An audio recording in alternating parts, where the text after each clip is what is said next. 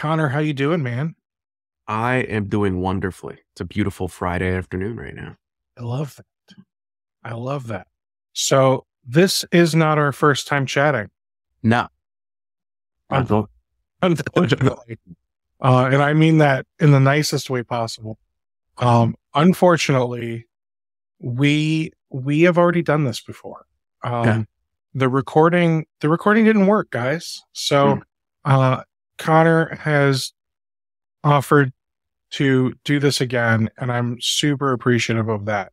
So I I'm not going to sit here and try faking my surprise on but I mean it's been a couple months, so who knows? Maybe you've added some new features and I will be surprised. We have. So maybe right. there'll be some genuine, sur- it'll be fun to watch you try to fake it too. So No, I'm I'm not gonna bother. um so so let's just dive right in. What is Phin Security? So Phin Security is a phishing simulation and security awareness training platform, but we're built only for MSPs. So we solve, uh, this is what I tell everyone whenever they hop on a call with me. We solve three really specific problems. One is the automation of onboarding and offboarding your clients into the platform, automation of the creation and management and orchestration and all of the reporting that needs to go on around the training of the phishing campaigns. And then most importantly, being an MSP only vendor.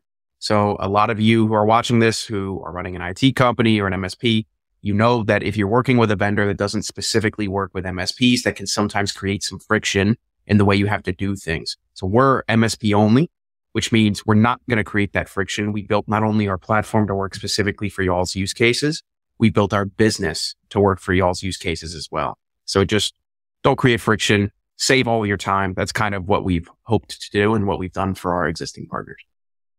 Awesome. So I'm gonna switch spots with here you here in a moment. Um with with all of that said, you are not say a security expert. You're you're not a I used to run a successful MSP and I know exactly what MSPs want because of that. And now I'm gonna make a new tool. Can you can you kind of talk to people about your background? Sure. Uh, my background officially is actually uh, in math. And then I also was a real estate investor while I was in college. But uh, you brought up a really good point is what are we doing to make sure we are building and listening to the right groups of people to serve the MSP industry well? So what we did from the very beginning, me and my co-founder was surround ourselves with the highest quality MSP folk we could find. People like Wes Spencer and Tom Lawrence and Ray Orsini. I mean, I'm name dropping here because some of you have probably, you've either seen them somewhere or you know of them, kind of. Great names. And um, they have been the people that have helped us really serve the MSP community uh, completely. And just to give you one example from earlier today, uh, we learned from Wes and, and Aaron, the co-founders of Perch Security, that MSP user calls that we should be running like a town hall every two weeks with just MSPs are the most effective way to actually build the right stuff and to solve the right pain points for MSPs. Every two weeks, without fail, we hop on a call with about eight or nine MSPs, large and small, everywhere in between. And we tell them this is what we're going to build. This is why we want to build it. And then they give us the feedback. They tell us where things might go wrong. And they've helped that, you know, that group of MSPs has helped direct our platform for the last 18 months. So I would say, you know, we're super bright and we're super intelligent. We'll do everything right the first time always. But the reality is we put it in front of MSPs that are doing great work and say, would this work for you? Would this solve the pain that you want us to? And that's how we decide what to build. That's why we're an expert in this area is because we've lent, we've borrowed the credibility and the expertise of the experts. And then, excuse me, um, I also want to uh, just talk about the other elephant in the room.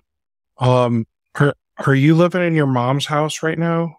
No, not You at all. Like you're, you look like you're in your bedroom at your mom's house. What's going on here? No, no, no, no. Um, I did start this company in my parents' basement a few years ago, like three or four years ago. However, no, me, my co-founder and our first employee, we all rent together. So I am in my bedroom in that house and actually our developers, uh, are right downstairs at the dining room table, kind of like Facebook house, uh, when they first got started. so that that brings up an excellent point. Your developers, and where where are you? Delaware. Delaware. Oh, even better. So you you don't have that crazy LA traffic or San Francisco traffic or anything like that.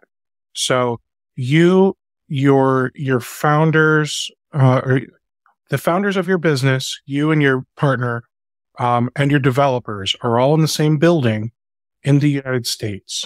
Are you Yeah. outsourcing anything overseas? No, not at all. Okay. When we reach out because we need support, one of you guys are going to answer. Yes. one, one of our developers will absolutely answer. Perfect. So that's fantastic. You guys have, um, you, you guys have, have done it the way that MSPs want it done, where they're, Mhm. they're speaking, you guys are speaking our language and, um, you're, you're in our area and that's going to make us feel a little bit safer. I know Yeah. it's just cybersecurity training, right? But who, who knows what can be an attack vector anymore? So if, Well, you, no, you bring up a good point. And um, one of the things we made sure from the very beginning is uh, practice what we preach. So we very early on launched mandatory MFA for every admin account in our platform. We've only had a one or two MSPs complain about it, but then we followed that up with this is best practice, take it or leave it. And then they just typically end up doing it with us. So uh, yes, anything can be an attack vector, which is also why if you integrate, we'll, we'll go through some integrations. When you enable integrations with us, it's not blanket admin rights integrations that you see. It's here are the exact three permissions we're going to request in order to get this specific integration done, whether it's from Microsoft or some other service. So it's like, don't just blanket give people admin access to your entire Azure tenant. Make sure that you're actually going through and selecting the role-based access they should have be very specific about it. We do that as well. I love that you're doing that. That that is great. That is what MSPs want to see. We want to see that you guys understand security needs to be, you know, the what is it, the least common denominator or Yep. how how however you guys would describe it in the security world, but we know that that's what needs to happen. And I'm so sick of seeing all these platforms that say, yeah, just give us global admin to your PSA and RMM and everything will be great. And, uh, yeah. Or uh, you'll never find us on SSO.tax ever. If you've ever been to that website, you'll never find us on that. Good, good. So let's let's just dive in. You've got your screen shared already. Yep. So we're going to do a little demo of Mhm. Phin Security, and again, I've already seen it, but I I want to see it again because I want you guys to see it, and I want you guys to get excited about this. Yeah. So, um, quickly take us through creating a company because I I know it's easy. Sure. Uh, I'll show you how easy it is.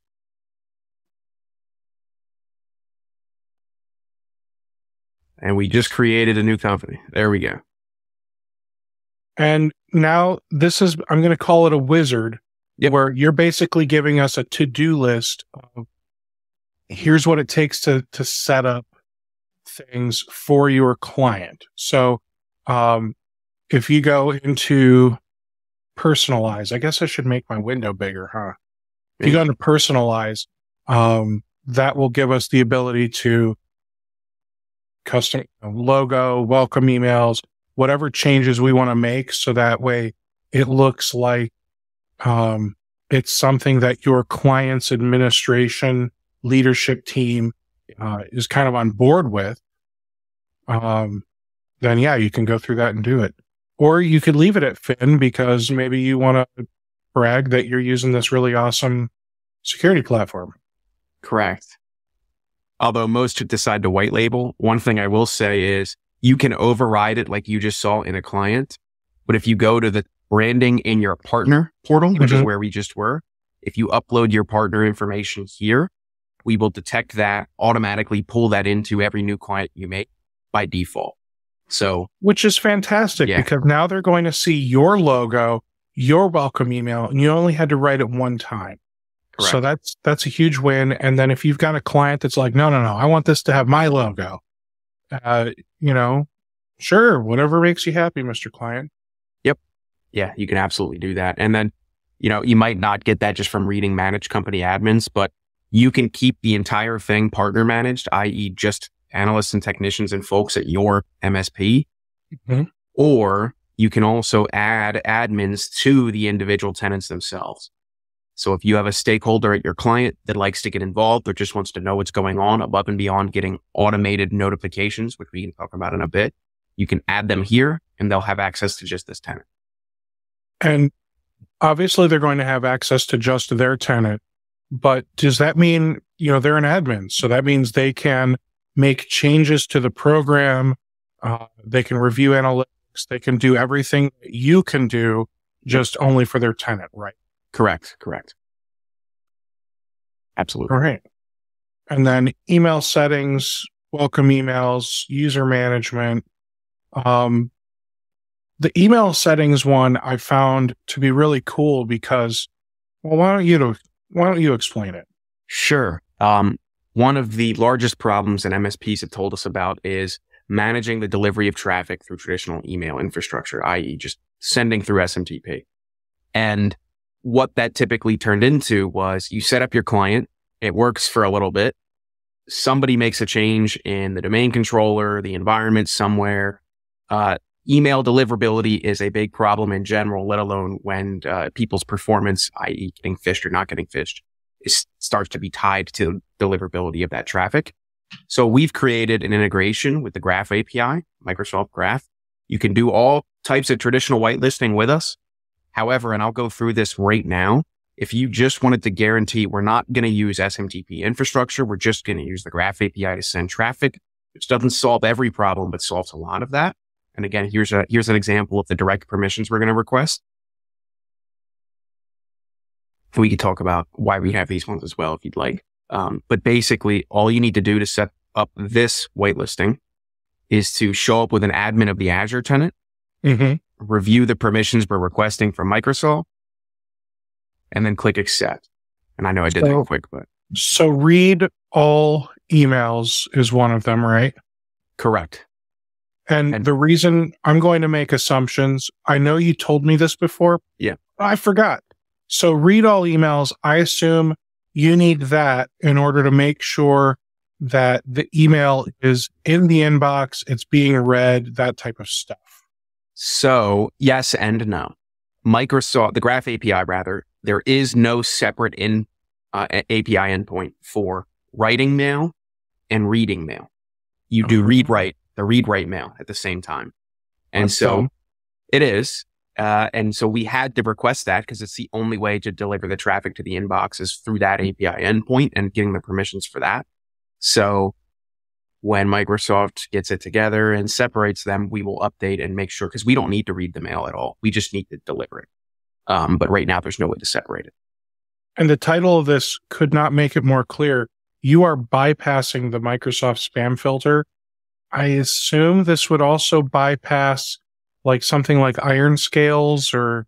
Yes. So we are rebranding this because it's a little unclear, but here's exactly how this would work if you have a spam filter, iron mm-hmm. scales, Proofpoint, Barracuda, you know, insert any of the hundred that you could use. We bypass that spam filter immediately because we're not using SMTP architecture. We're just dropping in an inbox right away. What if their spam filter, like IronScales, for example, is also using Graph API? So if you have, and IronScales does this, but a lot of others don't. If you have a spam filter that goes back through already delivered emails and looks at them and categorizes links and, and stuff like that, then there would need to be an additional whitelisting process for that spam filter. For most spam filters who just look at everything on the way in and classify it, we would fix that immediately. Good to know. And do you have documentation on how to do this with the ones that you know can cause problems? Yes, absolutely. And uh, Microsoft, I, I'll put this caveat here because my developers and I talked about it this morning, and they told me I need to start saying these things.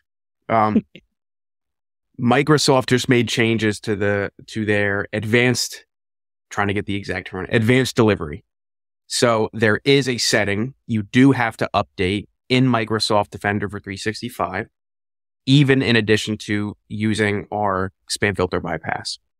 So it's still way simpler than whitelisting in general whitelisting, but now it's not just a click button, get email delivery. It's click button and update a setting and you're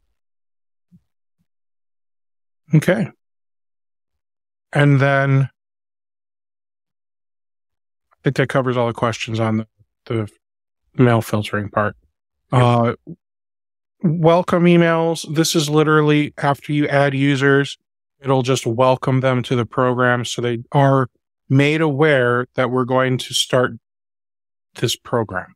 Correct. Um, two things I'd like to say about this. One, setting expectations is the easiest way to guarantee buy-in from employees. In my experience, after doing this for years and years and years with hundreds of MSP partners, setting expectations with the, the employees of your client up front are the easiest way to make sure this goes off without a hitch. Second, when you don't do this, you will get hundreds of support tickets, depending upon the size of your client, saying things like, what is this? Why do we have to do this? Uh, is this a phishing email? Are you sure it's not a phishing email? And it just creates fires that could have completely been avoided. We saw that happening in our partners. And then through that MSP advisory council that we talked about, we said if we just made a way for you to automatically set an expectation, send out an email ahead of phishing and training, would that solve your problems? They said, absolutely. Let us craft it at the partner level, change it in the client if we'd like, and let it automatically send to everybody before the, the campaign start. And since we've done that, we have yet to get a single support ticket sent to us from any of our partners about what is this and how, how can we explain it? So it's just solved a lot of problems already. Cool. And you just turn it on like that. And when we go pull users in, they'll automatically be queued up. All right. User users. That's pretty, you know, duh. Pretty simple. Uh, right now we have, uh, Azure Active Directory integration. We're launching an Azure Gov integration today. For those of you who have any um, uh, DoD, DFARS regulated clients or anything like that, we'll have an, an, Azure Gov integration. I won't say by the end of the day, by Monday at least, because uh, I used to write code. So uh, we actually got made fun of in our partner call today because they're like, what happened to read only Fridays? Why are you launching new code on Fridays? We're like, uh, come on. We just want to get it out there. But, uh, we are launching one like right now. So that will exist. We're also planning on building a Google Workspace integration for also the delivery and the user sync. It's not in the platform yet. I don't have a timeline for it. That was your next question, but it will be, uh, it, it will be either next on the list or shortly thereafter. Cool. And we've made it real simple to do right here. You just sync with Azure. These are the permissions we should be requesting.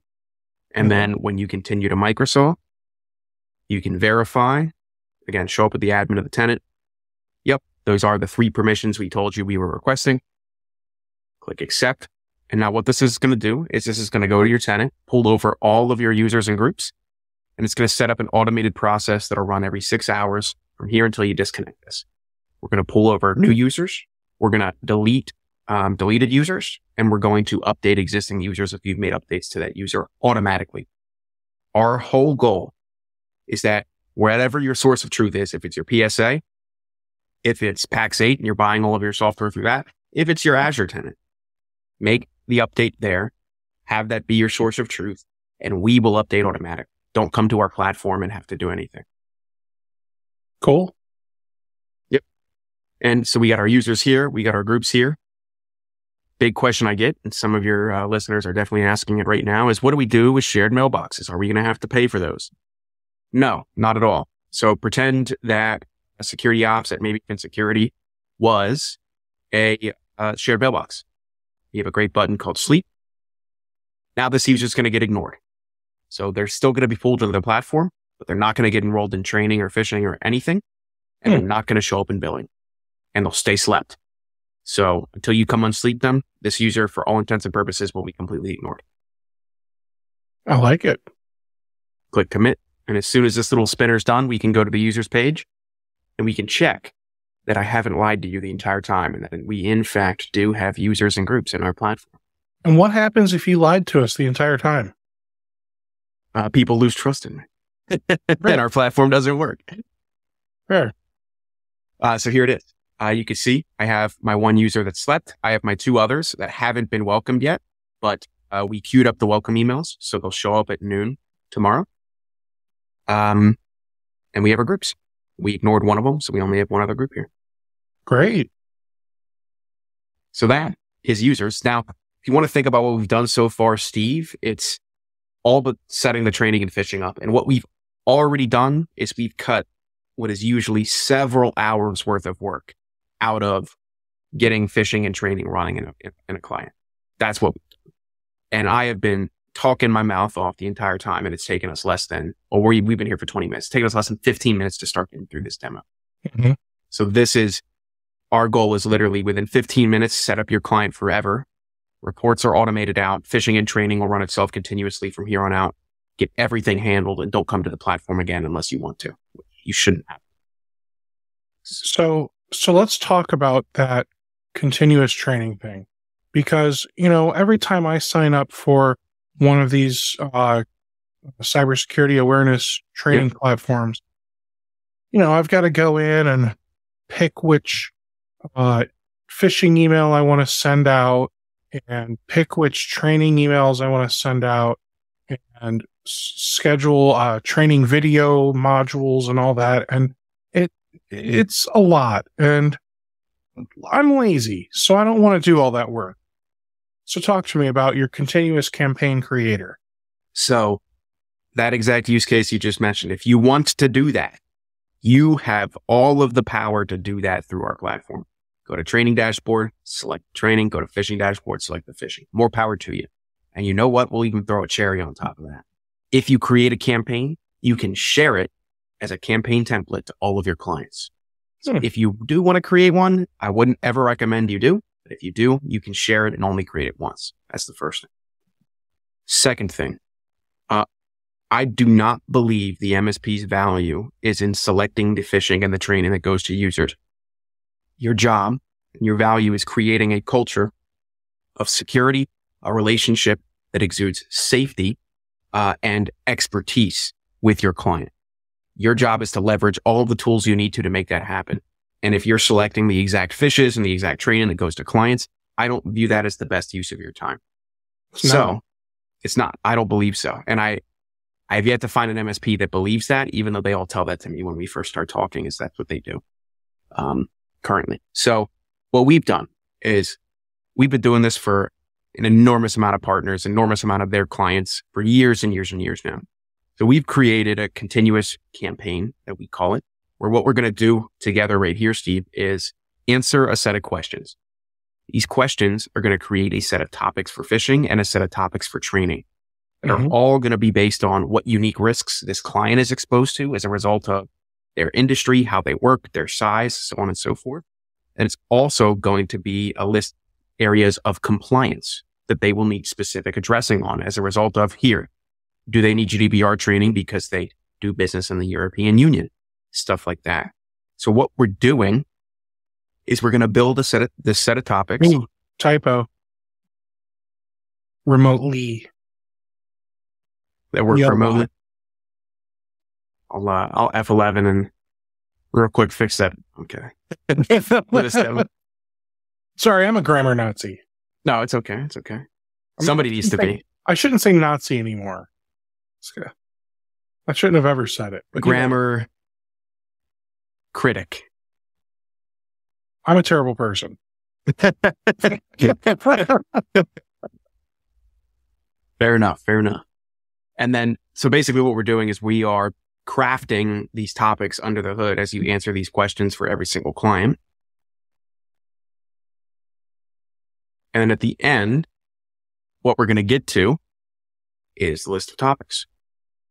So up at the top here, we have a list of phishing topics. Up at, down at the bottom here, we have a list of training topics. Now I can go show you what both campaigns end up looking like, but here's basically what's going to happen. For the phishing, we're going to select relevant phishes for the individuals based upon some of their previous behavior. So those are the allowed topics in all of our phishing emails that could be sent. So whenever this campaign runs, every month, every week, every quarter, whenever you want it to run automatically, we will go to the allowed templates. We'll look at the user's behavior and we'll say, yep, a giveaway phish is probably going to get them. Let's phish them with this. So every user gets a different experience. No user gets the same phish at the same time of day ever, guaranteed. Very important. Can I make a quality of life improvement recommendation? Yeah. And I think, I think you gave the same quality of life improvement on the last time we talked, right? Yeah, but I'm going to do it anyway. So I would recommend graying out the question marks that we've already been to or changing their color somehow. Mm-hmm. And then making the one that we're currently on larger Mhm. so that way it stands out. So we know like you are here. Right. Yeah. That would be very helpful. We could also get way better at letting you add new questions. The stuff we're talking about haven't implemented. Sure. So I like that you have the ability for us to choose an industry. You included healthcare and you know, that type of stuff. So when we choose the industry and answer all of those questions, you actually have, I assume, built out a whole set of rules that basically says if this is a yes, then you're going to include these types of trainings. And you might have even configured more complex, like if they answered yes to these three and their industry is this, then we need to prioritize these trainings. I'd have to go talk to my developers as to exactly how they did that because this is what I've explained to them Mm-hmm. is there are certain topics that apply to every company of every size, such as educational and social engineering. Mm-hmm. There are other topics that only apply to co- the way companies work, such as working remotely. And then there are other topics that only apply to companies who are have to abide by specific regulations like PCI or GDPR or HIPAA. And so what I've done is I said, listen, here's the base layer that everyone should get. And that included things like phishing, passwords, social engineering, all of that stuff.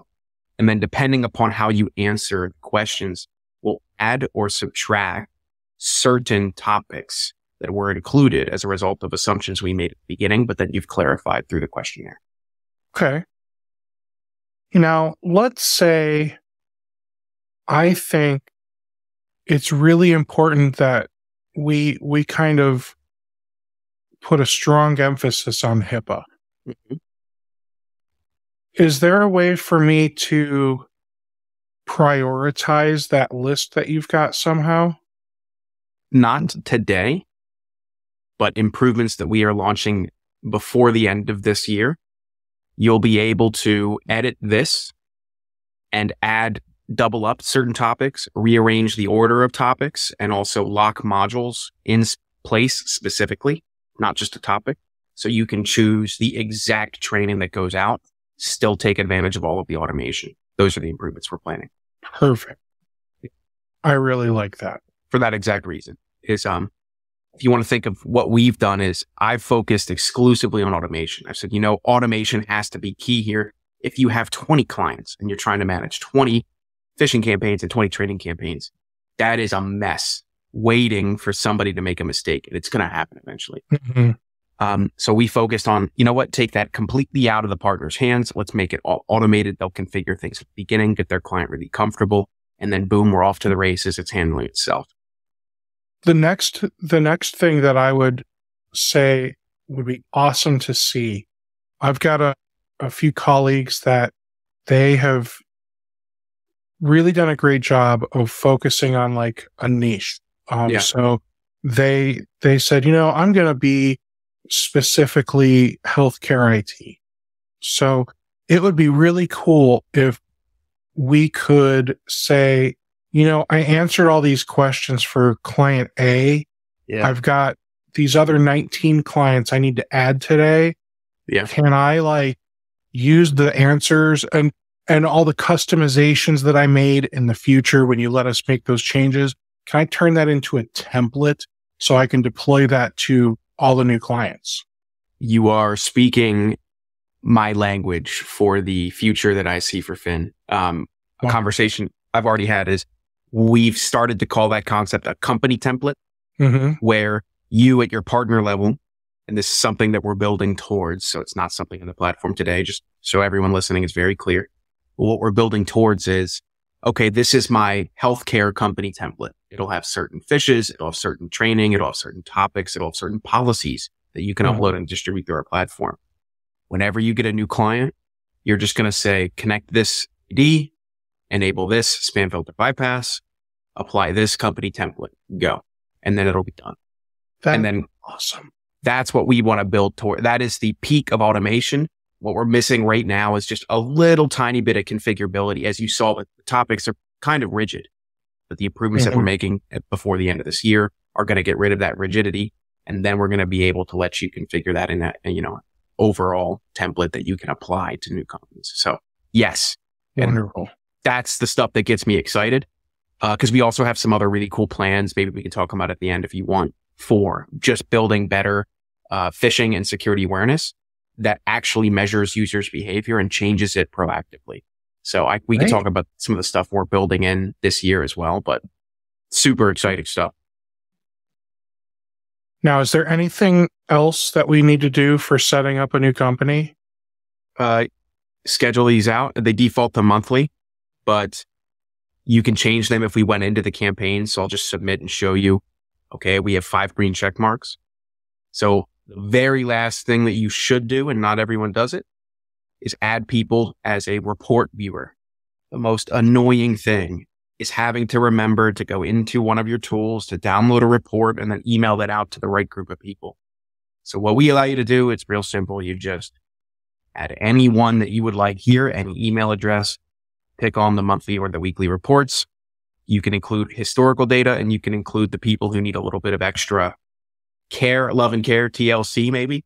Uh, people who are getting phished and people who are not completing training is what users to watch means. And I want to clarify for everyone that we are still uh, everything on the the left side in that menu that is specific to our tenant. I'm sorry, to our client, right? Yep. Yep. Okay. Because it says Rocket MSP with a space in between up there. And then is that a little back button next to it? yeah. it? I named the client Rocket MSP. This is Oh, see, I wasn't even looking for bread. Okay. So breadcrumbs belong up in the top uh, left. I would have never seen those. I was looking at the top left. You see where it says testing MSP right yeah, now? yeah, yeah. I think that's a little Phin logo next to it, It is. but it's really hard to tell because it's so tiny. Um, so yes, this is per, per tenant. You can decide these rules and these reporting. cool. Okay. All And- right. Then you mentioned, Um, are we done? That, that is it. If you want me to rapid fire what's going to happen, users are being pulled in now. Everything's going to be white labeled. They're going to get welcome to the program based upon what you've delivered them. All the traffic is guaranteed to be delivered through the whitelisting that we've set up. The training and phishing is going to run on a continuous basis, selecting content and the phishes from the relevant topics that that questionnaire identified without you needing to be here and every month you're going to get a report on what training is going on, what phishing is going on, what's the performance like, and who are the people that I need to get in front of and start to have a conversation with because they're not performing. Awesome. All and users get reminded automatically. They don't complete their training. You don't need to remind them. We email them every week if they have open training that they've been prescribed that they don't. So let's let's preview some of this training Sure. because I I want to know what this looks like. You know, like like we've got training stuff and then we've got phishing emails. Correct. So I will. This is an old uh, reminder of ours, so they don't look quite like this anymore. And all of this can be white labeled again for anyone watching or listening. So this will have your MSP's information or your client's information, your MSP's logo. Phin will show up nowhere other than right now. You do have to send it from Reminder Security. So Okay. that's it's And that's not the worst thing in the world. And you know what? We know it's going to get delivered because you've set up your SPF, DKIM, DMARC, correct. all of that's right. Yes, uh, we wouldn't be uh, an email company without setting up our email right. But and my But some point of is, them Yeah. some you know there are many MSPs that, um, how do I say this nicely? Suck uh, at at email deliverability, and that's because sometimes they put that in the marketing bucket. And so they don't really spend a lot of time trying to figure out how all that stuff works. Right. But at the end of the day, it's all DNS. Yep. So I mean, it's it's stuff that they need to know how to do, and they probably know how to do it. They're just not doing it because they don't think about setting up all this deliverability DNS stuff. So yeah, I, I would love to see Phin implement the ability for us to use our own domain for these emails.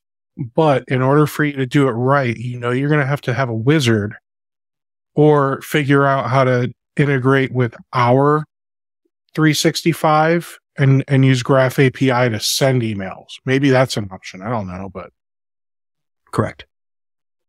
Correct. Um, so for this training reminder, one thing we've done, we've created the shortest path to learning. This button here says log in. In reality, it's just a tokenized link and we're dropped right at our training. If a user had one course, it would just start playing for them right here in the browser and they'd be off to the races. So basically, uh, this is our training. You see my smiling face right here because you can upload your own content and deliver it like it's in a, uh, like it's in a campaign. The user normally would just scroll through, say, okay, I want to look at password security. We have multiple content providers that have, um, animated, live action, Hollywood style production, all, all different types of content. And what we can guarantee is that no individual module will be more than five minutes of training, followed by a set of quiz questions, which you can see here are some quiz questions. Then when a user is complete, it would show up in their completed section. They can download a certificate of completion if they'd like. They could do whatever they want. All the analytics is all updated in real time. So if you went back to the dashboard, you'd start seeing completion. And of course, all the reports are updated for when they're, and that's it. Super, super simple. that's really great. Now, you said you've got content providers. What do you Mhm. mean you got content providers? You don't just make your own content? Uh, no, we don't. So uh, a little secret. When I first started this company three or four years ago, I went and I met with many, many security awareness training companies. I think I ended up meeting with like 11 or 12. And I asked them, what do you think's your unique value? Why should people work with you? There's another company down the street. All of them in unison basically said, our content's the differentiator. Our content's the reason people should work with us. Well, I've heard that seven times this week. So what makes your content 10 times as better as the other six people that have also said the same thing about you? Never really got a good answer. And I likened what I saw happening in the industry to what I experienced in college. So I studied math in college. Mm-hmm. I love math. I have a bunch of textbook textbooks behind me, actually. And basically, I've tried to talk to somebody about math, which I was really passionate about and really excited and interested in. The light would dim from their eyes. The conversation would be over. Their mother, their brother, whoever would be calling them from the next room. Their friend was trying to get in touch with them. Conversation over. No interest. No, I, I think I hear someone calling. over- Exactly. Just like that. right? Yes. And uh, I saw the same thing happening with cybersecurity is at the end of the day, the people that need to take this training, they don't have an enormous interest in cybersecurity. What they do want is to show up, do a great job, be safe and be secure while they're doing it. And so I realized, you know, there's a bar that the content needs to get over for that to happen. But once you get over that bar, we're still in the realm of teaching people about things they're not, that don't get them up in the morning, which they're not going to want to keep watching unless Mhm. they have to. So I said, you know what? I can just buy everyone else's content that'll sell it to me. I'm not going to participate in just being another content provider that builds content that I'm going to fool myself into thinking is the reason people should work with us. And what I'm going to do is find a way to pair the best content that I have access to with how it's performing in a client. So where this is going is kind of like a meritocracy where if an MSP likes a specific provider, awesome. Choose that provider for that client. Or if the MSP wants us to decide where we're going is we're going to look at the usage that clients have for the training, how long they're watching videos, if they're completing training on a regular basis. And we're going to smartly suggest different modules as a result of what type, what style and what feel of the content typically works best. So I see that the only reason we're able to do that is because we're committed to integrating everyone else's content, not building our own and pushing everyone else's out. So to simplify what I just heard, um, content creation is for the birds. You would rather give us great content that already exists because this is all about automation. So why wouldn't you automate your content by getting it somewhere else? Right. And you are going to, again, simplifying, check a report every month to see what content is the most delightful for the end users, the most, uh, the most used, watched, completed, uh, 100% and make your own educated decision based off, uh, these reports to then modify these continuous campaigns moving forward. And if that means eventually you guys stop paying for content from certain providers because maybe it's not as, you know, useful or, or right. completed or whatever the metric is that you're looking at, then so be it. Yeah, you hit the nail on the head. Um, right now we have that data, but we're not adjusting which content providers go out. We're just making sure that the module and the topic are relevant to that client. And then, but we're absolutely building towards to exactly what you had just described. Perfect. It's, Can we take a look at uh, phishing email? Absolutely. So one thing we've done as well is uh, created a different learning concept that we call a learning moment. And what we're going to, what I'm about to show you, what we're trying to do is we are actively targeting users with vulnerabilities we believe them to, to have. And then we're going to teach them how our platform targeted them through the phishing assessments and tell them which habits they should build in order to recognize them moving forward. So it's very, very effective at changing behavior is kind of what we're going at. Now, here's a phishing email. This was sent to myself as a test. So in the while, it would have their real information. You can pull in first name, last name, supervisor, department info and inject that into all the phishes or just let our platform do that for you. Additionally, these links aren't obfuscated, but in the wild, we have, I think it's right now 50 different link domains and another 25 sending domains that we tie to the content itself when we create this phishing template to make sure it's relevant and uh, to to actual phishing content, if that makes sense. So we have built a phishing simulation engine that is very good and very high quality at actually providing things that look realistic. And the way we decide to make phishes is real simple. MSPs send us real legitimate emails and say, Hey, we just got this. Can you turn it into one for us? And we'll just rip it into the platform immediately. Hmm. So here's a Zoom phish. This is an actual Zoom email, by the way. Zoom. It's a, hey, Zoom, if you're listening, it's 2022. Put some, uh, put some color on your emails. and, um, basically when a user gets phished, learning moment starts right away. This is accessible right here in any browser on their phone, on their tablet, on their iPad, doesn't matter where. And what this is going to do is this is going to rip the entire email that we just phished this person with, or it works for text messages too. And we can talk about that. And we're going to teach them, okay, what was the vulnerability in here and how did we target? So this says, Hey, can you hover over this link real quick?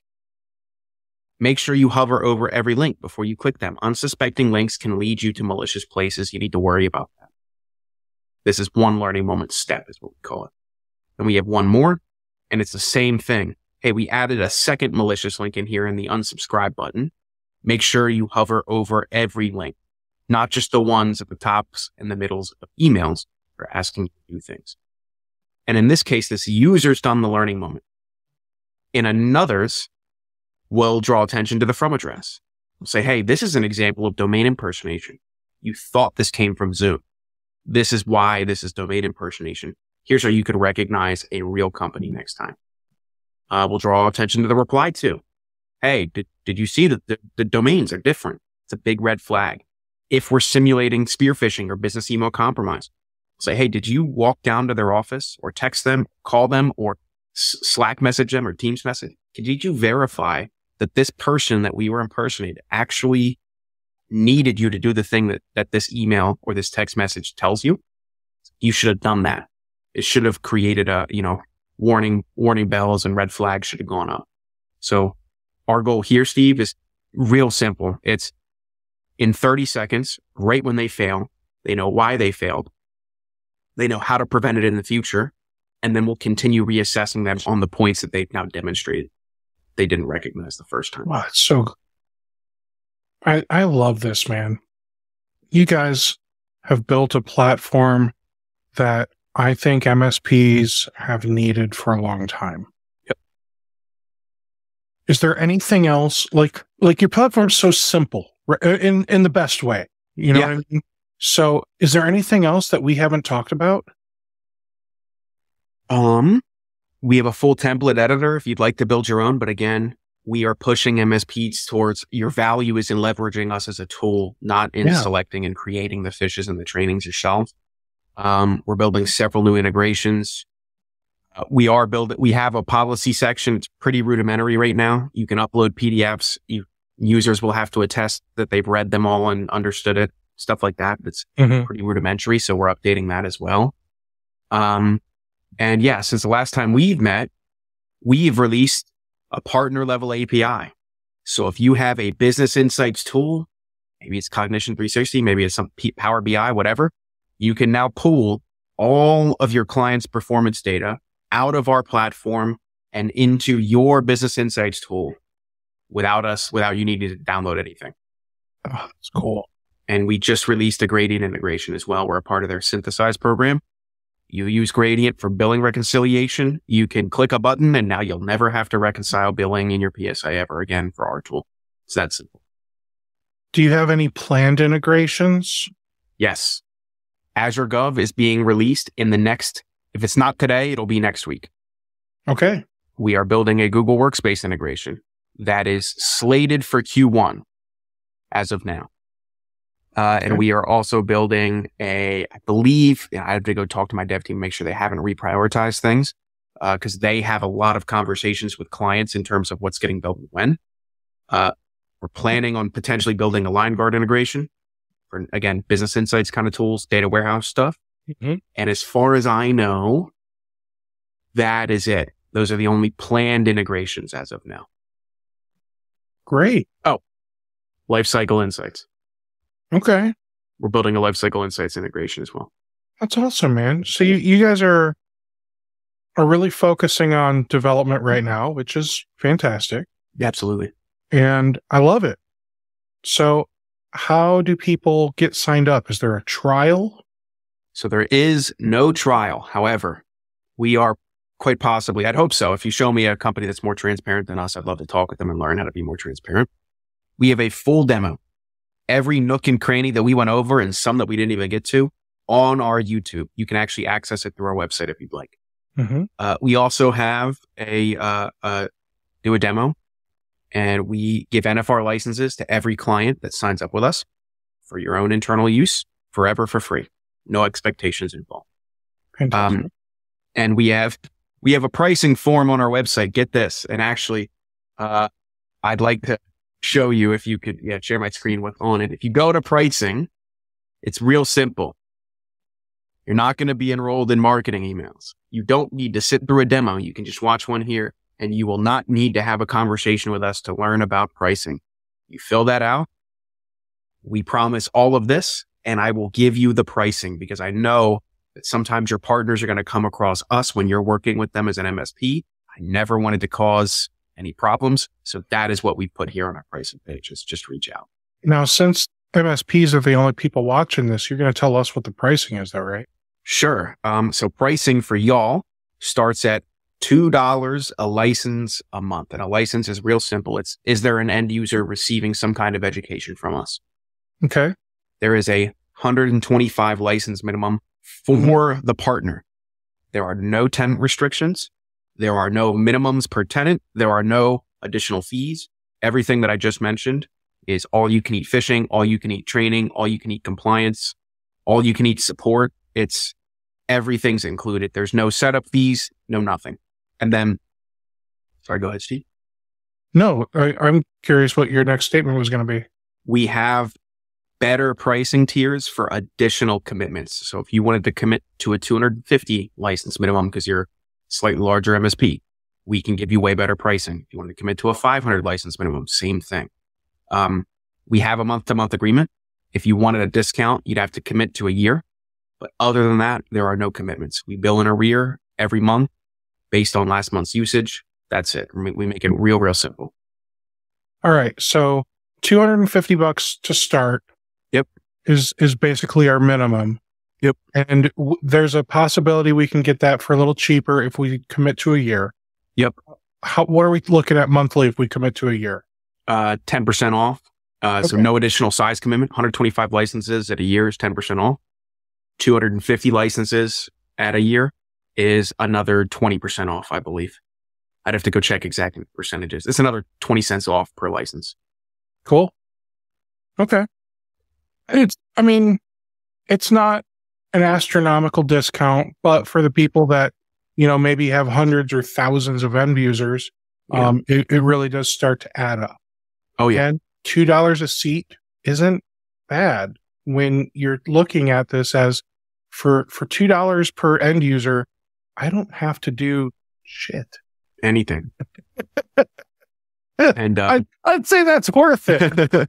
to uh to give you some color commentary on on our partners, over 90% of our partners resell Phin uh, as their security awareness provider, right? They'll build a security awareness program between three and four dollars a user a month. So most of our partners are getting very close to 100% margin. You hit the nail on the head almost zero administrative cost. Yeah. And, and let's look at this a little more realistically. I would say that you as an MSP should be building out packages. So maybe you've got like your, your basic package of MSP support and, you know, you'll have your per user, per endpoint, yeah. per server and per site type stuff. And, you know, this should just be bundled into your per user stuff at the basic level. Yes. Okay. And at $2 a user, I mean, you're going to have this, you're going to have your 365 license and, you know, a, a couple other things, right? And you're going to charge 30 to $50 per user just at the user level, not even looking at the endpoints and everything else. Right. You're, you're going to have really great margin when, when you build it out this way. Yeah. And, uh, good news for MSPs. Cyber insurance is doing all the selling for you right now for your clients. It really is. And that's the other thing. Uh, cyber insurance is something that you should be requiring your clients to have. Um, and, you know, you, you're going to tell them, Hey, look, you, you have to have cyber insurance and you need to have these things in place that we want to put in place for you in yeah. order for cyber insurance to even accept you as a customer. Yep. And um, I talk about that with Wes Spencer. He works at Fifth Wall a lot. There are five things 99% of carriers are now requiring. One of them is security awareness training now. What are the other four? Uh, it is MFA everywhere possible, segregated immutable backups, security awareness training. Um, oh my goodness, how am I forgetting the other two? Uh, next gen AV. So beyond just signature checking. And I believe the fifth one is some, uh, some kind of MDR solution. Um, the first four I know. The fifth one, I'm kind of, I'd have to go talk with Wes to make sure I got the five right because he was the one that has been telling me this information. These are the five things that 99% of cyber insurance carriers require require qualify for their policies. Right. I am putting that list into a post in the Rocket MSP forum, which Connor, I need to get you into, man. Send me an invite. I'll show up and start uh, saying some things. Great. Cool. Well, hey, I really appreciate you doing this. Yeah. Um, when we're done recording, stick around for a minute, would you? Sure. Thank you. Uh, guys, thanks so much for watching this episode. If you like what you've seen, uh, like, subscribe, ring the bell, do all those things that all those other YouTubers are telling you to do. do that here. Okay. You just, it's right down there on the bottom. All right. Take care, everybody. See ya.